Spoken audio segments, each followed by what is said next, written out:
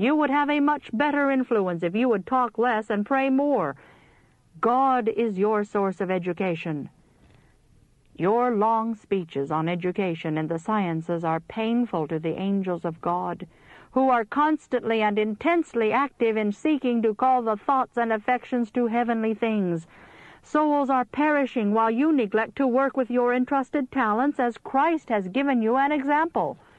Souls will be lost under your long, Christless speeches.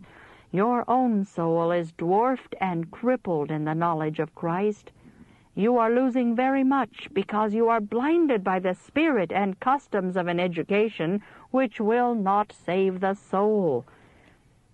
The youth need your labor if you were a converted man, daily learning lessons in the school of Christ, then your labors would be a savor of life unto life.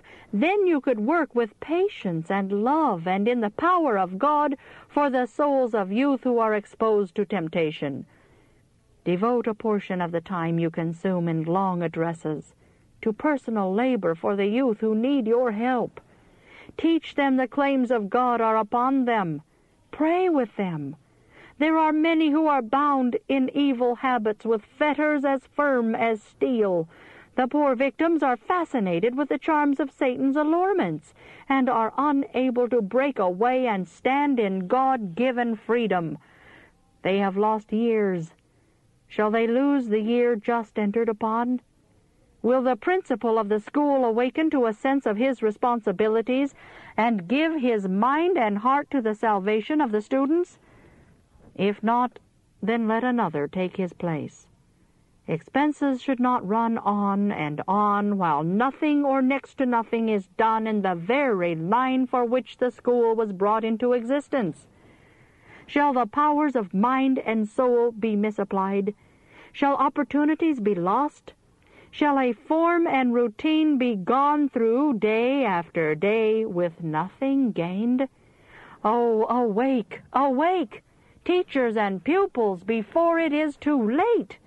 Awake before you hear from pale and agonized lips the terrible wail, the harvest is past, the summer is ended, and we are not saved. Are the gifts and talents of every educator improved for the very best good of the pupils? Who is watching for a favorable moment to speak words of kindness and love? Who loves to tell the story of him who so loved the world that he gave his life to redeem lost and perishing sinners? Train the youth. Mold the character. Educate. Educate. Educate for the future immortal life. Pray often. Plead with God to give you a spirit of supplication. Do not feel that your work as teachers is done unless you can lead your scholars to faith in Jesus and love for Him. Let the love of Christ pervade your own souls, and then you will unconsciously teach it to others. When you, as instructors, commit yourselves unreservedly to Jesus, for Him to lead, to guide, to control, you will not fail. Teaching your students to be Christians is the greatest work before you. Go to God. He hears and answers prayer. Put from your questionings doubts and unbelief. Let no harshness come into your teaching. Be not too exacting, but cultivate tender sympathy and love. Be cheerful. Do not scold. Do not censure too severely. Be firm, be broad, be Christ-like, pitiful, courteous. Whatsoever a man soweth, that shall he also reap. I cannot express to you the intense desire of my soul that you should all seek the Lord most earnestly while he may be found. We are in the day of God's preparation. Let nothing be regarded as of sufficient worth to draw your minds from the work of preparing for the great day of judgment. Get ready. Let not cold unbelief hold your souls away from God but let his love burn on the altar of your hearts. Chapter 28 The Appearance of Evil I feel urged to address those who are engaged in giving the last message of warning to the world. Whether those for whom they labor see and accept the truth depends very much upon the individual workers. The command from God is, Be ye clean that bear the vessels of the Lord, and Paul charges Timothy, Take heed unto thyself and unto thy doctrine. The work must commence with the worker. He must be united to Christ as the branch is united to the vine. I am the vine, said Christ, ye are the branches. The closest possible connection is here represented. Engraft the leafless twig upon the flourishing vine stalk, and it becomes a living branch, drawing sap and nourishment from the vine. Fiber by fiber, vein by vein, the sapling clings until it buds and blossoms and bears fruit. The sapless twig represents the sinner. When united to Christ, soul is joined to soul, the feeble and finite to the holy and infinite, and man becomes one with Christ. Without me, says Christ, ye can do nothing. Are we who claim to be workers with Christ united to him? Do we abide in Christ? And are we one with him? The message that we bear is worldwide. It must come before all nations, tongues, and peoples. The Lord will not require any of us to go forth with this message without giving us grace and power to present it to the people in a manner corresponding to its importance. The great question with us today is, are we carrying to the world this solemn message of truth in a way to show its importance? The Lord will work with the laborers if they will make Christ their only dependence. He never designed that his missionaries should work without his grace, destitute of his power. Christ has chosen us out of the world that we might be a peculiar and holy people. He gave himself for us that he might redeem us from all iniquity, and purify unto himself a peculiar people, zealous of good works. God's workers must be men of prayer, diligent students of the Scriptures, hungering and thirsting after righteousness, that they may be a light and strength to others. Our God is a jealous God, and He requires us to worship Him in spirit and in truth, in the beauty of holiness. The psalmist says, If I regard iniquity in my heart, the Lord will not hear me. As workers, we must take heed to our ways. If the psalmist could not be heard if he regarded iniquity in his heart, how can the prayers of men now be heard while iniquity is regarded by them? After the passing of the time in 1844, fanaticism came into the ranks of Adventists. God gave messages of warning to stay the incoming evil. There was too great familiarity between some men and women. I presented to them the holy standard of truth that we should reach and the purity of deportment that we should maintain in order to meet the approval of God and be without spot or wrinkle or any such thing. Most solemn denunciations from God were given to men and women whose thoughts were running in an impure channel, while they claimed to be especially favored by God. But the message which God gave was despised and rejected. They turned upon me and said, Has God spoken only by you and not by us? They did not amend their ways, and the Lord suffered them to go on till defilement marked their lives. We are not out of danger even now. Every soul who engages to give to the world the message of warning will be sorely tempted to pursue such a course in life as will deny his faith. It is Satan's studied plan to make the workers weak in prayer, weak in power, and weak in influence because of their defects of character. We as workers must be united in frowning down and condemning everything that bears the least approach to evil in our associations with one another. Our faith is holy. Our work is to vindicate the honor of God's law. And it is not of a character to bring anyone down to a low level in thought or in deportment. There is an exalted platform for us to stand upon. We must believe and teach the truth as it is in Jesus. Holiness of heart will never lead to impure actions. When one who claims to be teaching the truth is inclined to be much in the company of young or even married women, when he familiarly lays his hand upon them or is often conversing with them in a familiar manner, be afraid of him. The pure principles of truth are not inwrought in his soul. Such are not in Christ, and Christ is not abiding in them. They need a thorough conversion before God can accept their labors. The truth of heavenly origin never degrades the receiver, never leads him to the least approach of undue familiarity. On the contrary, it sanctifies the believer, refines his taste, elevates and ennobles him, and brings him into a close connection with Jesus.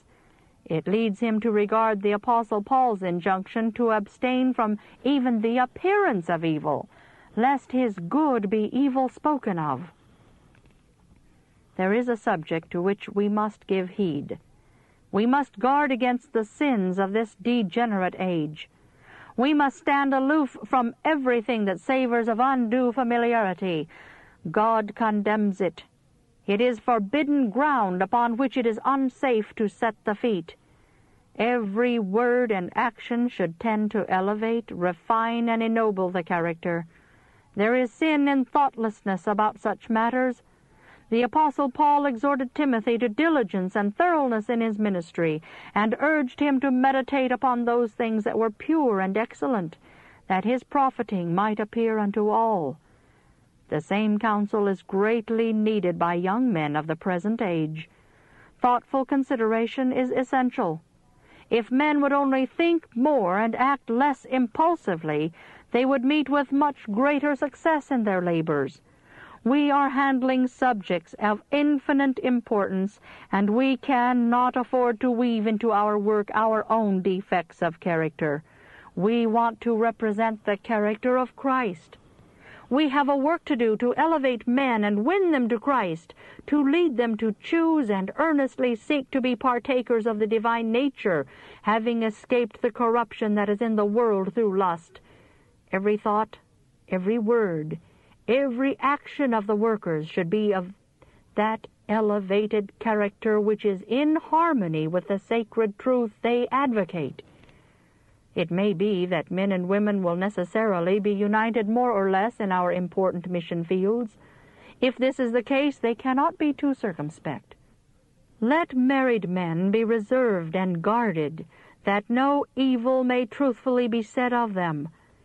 We are living in an age when iniquity abounds, and an unguarded word or improper action may greatly injure the usefulness of the one who shows this weakness.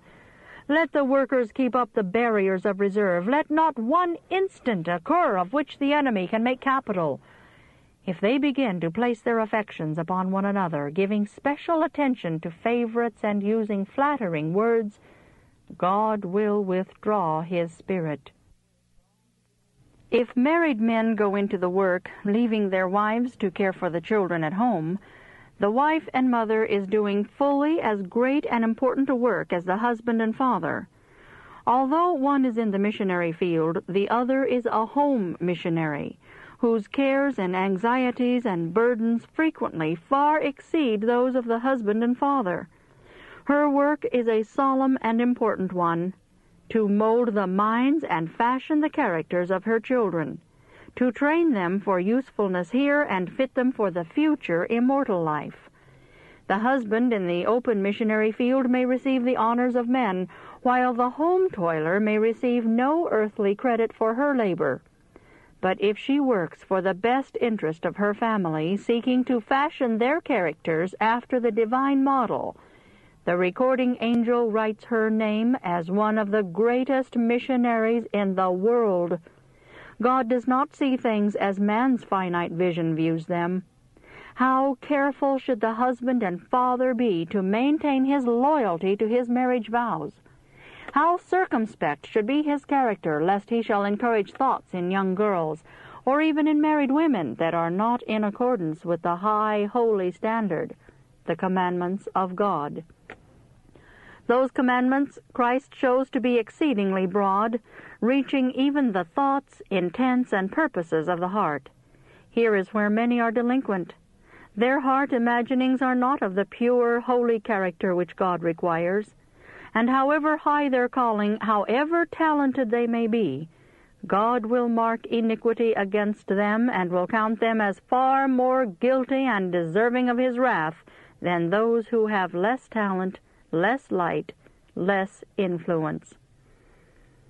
I am pained when I see men praised, flattered, and petted.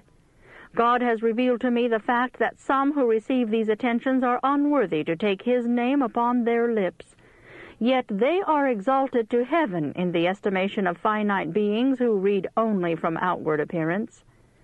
My sisters, never pet and flatter poor, fallible, erring men, either young or old, married or unmarried.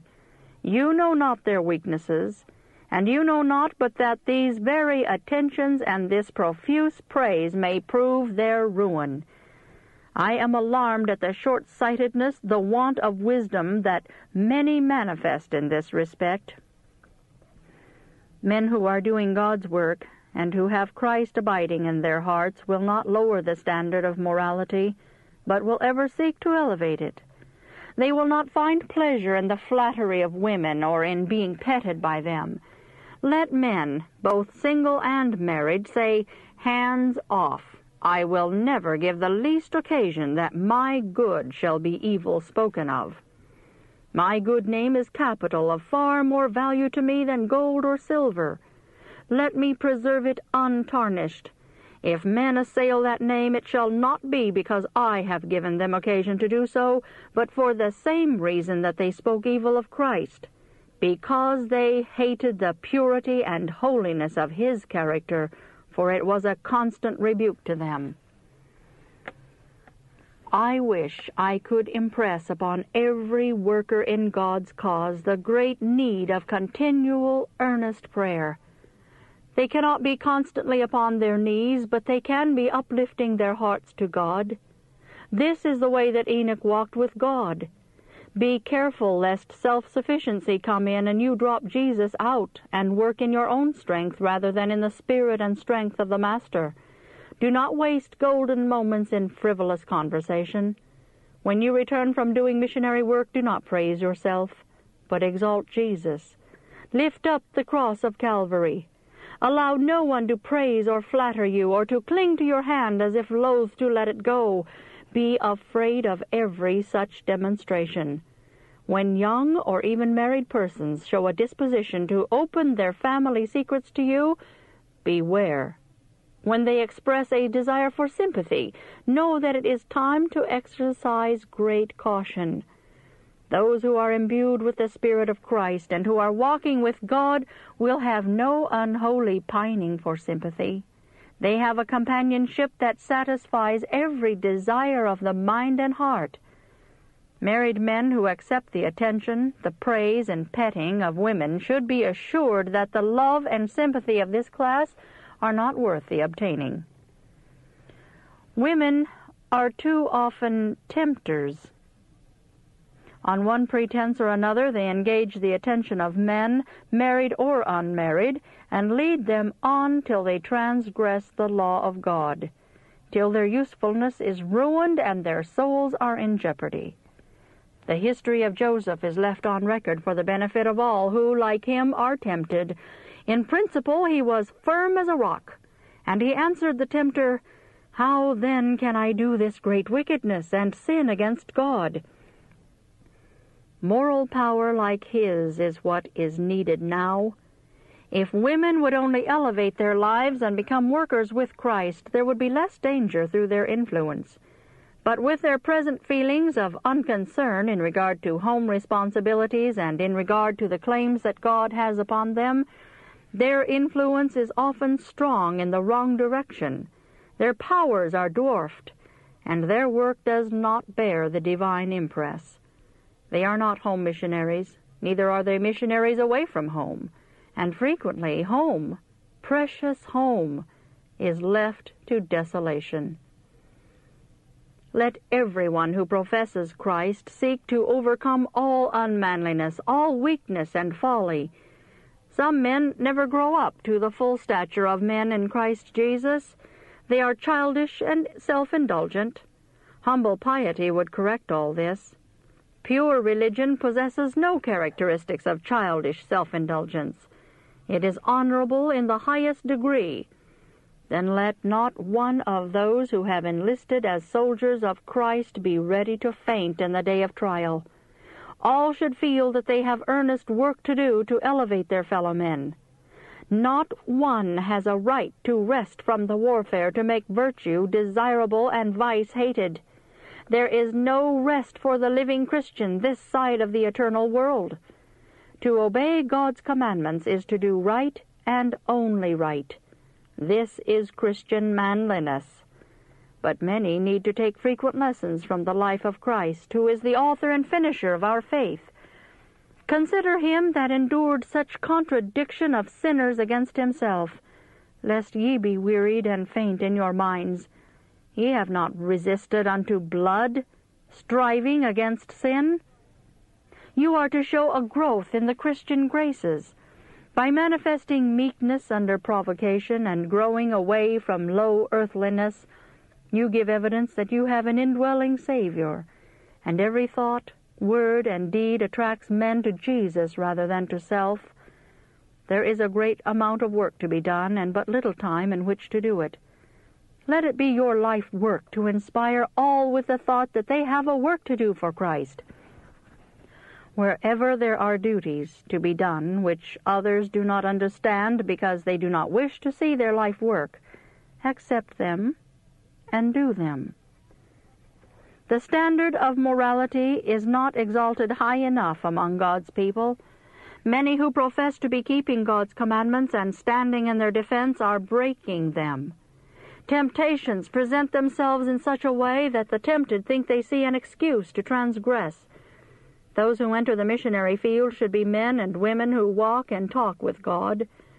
Those who stand as ministers in the sacred desk should be men of blameless reputation. Their lives should be spotless above everything that savors of impurity. Do not place your reputation in jeopardy by going in the way of temptation. If a woman lingeringly holds your hand, quickly withdraw it and save her from sin. If she manifests undue affection and mourns that her husband does not love her and sympathize with her, do not try to supply this lack. Your only safe and wise course in such a case is to keep your sympathy to yourself. Such cases are numerous. Point such souls to the burden bearer, the true and safe counselor. If she has chosen Christ as a companion, he will give her grace to bear neglect without repining. Meanwhile, she should diligently do all in her power to bind her husband to herself by strictest fidelity to him and faithfulness in making his home cheerful and attractive. If all her efforts are unavailing and unappreciated, she will have the sympathy and aid of her blessed Redeemer. He will help her to bear all her burdens and comfort her in her disappointments. She shows distrust of Jesus when she reaches for human objects to supply the place that Christ is ever ready to fill. In her repining, she sins against God. She would do well to examine her own heart critically to see if sin is not lurking in the soul. The heart that thus seeks human sympathy and accepts forbidden attentions from anyone is not pure and faultless before God. The Bible affords many striking illustrations of the strong influence of evil-minded women. When Balaam was called upon to curse Israel, he was not permitted to do so. For the Lord hath not beheld iniquity in Jacob, neither hath he seen perverseness in Israel. But Balaam, who had already yielded to temptation, now became fully the agent of Satan. And he determined to accomplish indirectly what God had not permitted him to do directly.